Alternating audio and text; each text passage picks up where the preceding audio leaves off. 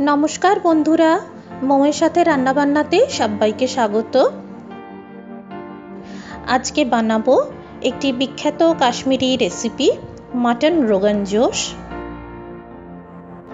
প্রথমে একটি পাত্রে এক গেলাস মতন জল দিয়ে দিলাম। অন্যান্য মাটনের রেসিপির থেকে এই রোগান জোশ রেসিপি একদমই আলাদা হয়ে থাকে। দিয়ে দিলাম তিনটে তেজপাতা পাঁচটা গোটা রসুনের কোয়া, সামান্য লবণ, ছশো গ্রাম মাটন নিয়েছি। এবার জলের মধ্যে আস্তে করে দিয়ে দেব। এবার এই মাটনের পিসগুলো ফিফটি পারসেন্ট সিদ্ধ করে নিতে হবে। সম্পূর্ণ সিদ্ধ করব না। সামান্য আরেকটু জল দিয়ে দেব যাতে ভালোভাবে মাটনের পিসগুলো সিদ্ধ হয়ে যায়। তাই আরও আধা গ্লাস জল দিয়ে দিলাম। জল ফুটতে শুরু করেছে। এবার ঢেকে দিয়ে লো টু মিডিয়াম ফ্লেমে সিদ্ধ করে নেব। এদিকে তিন স্পুন আস্ত মৌরি দিয়ে দিলাম।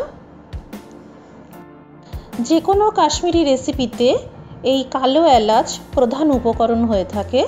তিনটে বড় কালো এলাচ দিয়ে দিলাম।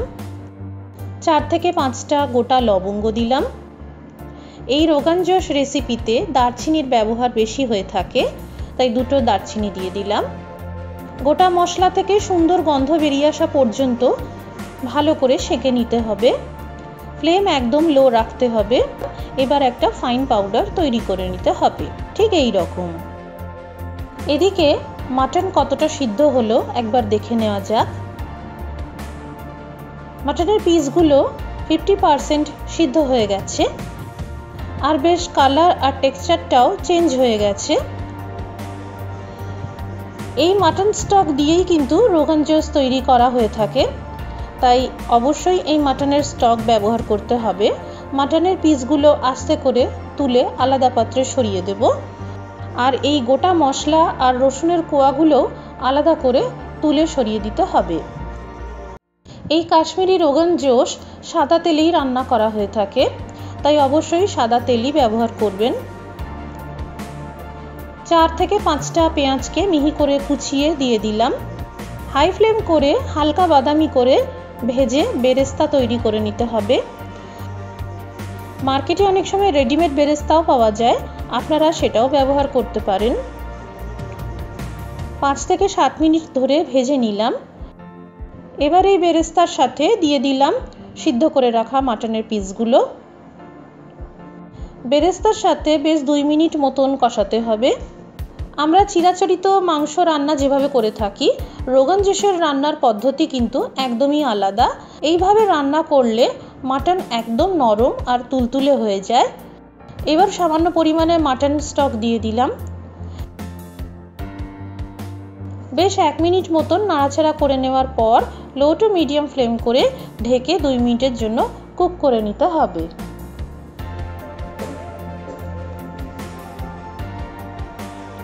বেশ দুই মিনিট হয়ে গেছে।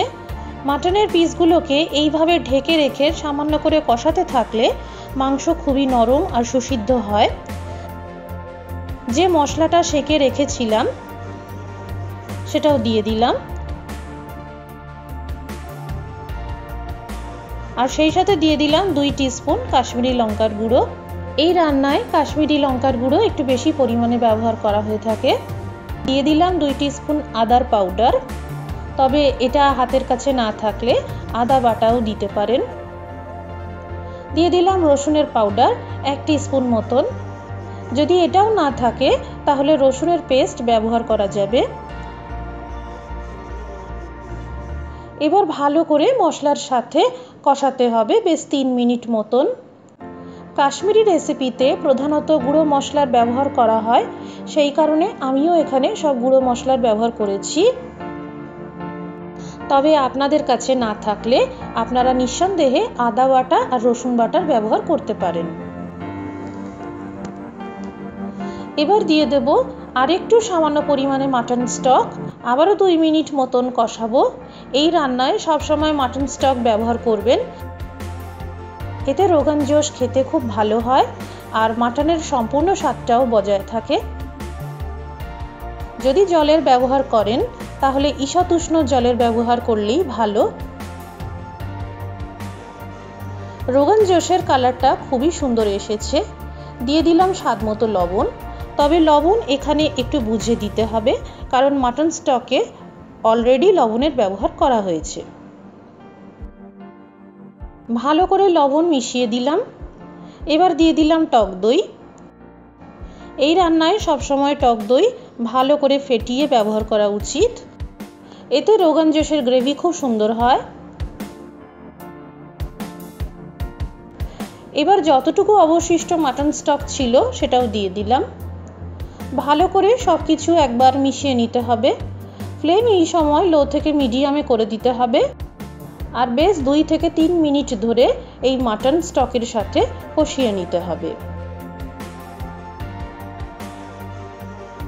ভালো করে কষানোর পর লো ফ্লেম করে ঢেকে পাঁচ মিনিটের জন্য সিদ্ধ হতে দিলাম। পাঁচ মিনিট পর একবার দেখে নেওয়া যাক।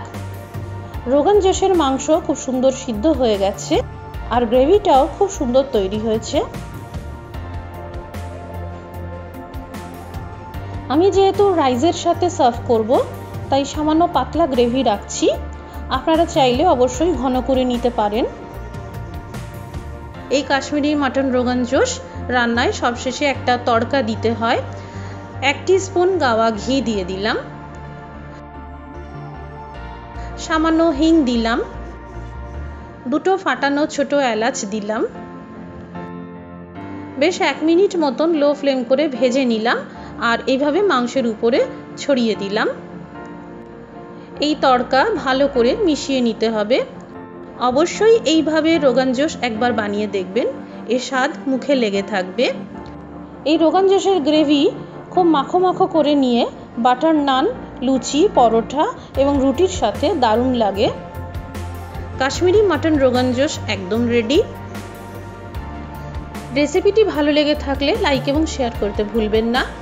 আমার চ্যানেলটিকে সাবস্ক্রাইব করার একটা ছোট্ট অনুরোধ রইল। ভিডিওটি দেখার জন্য অনেক ধন্যবাদ। সবাই ভালো থাকবেন সুস্থ থাকবেন।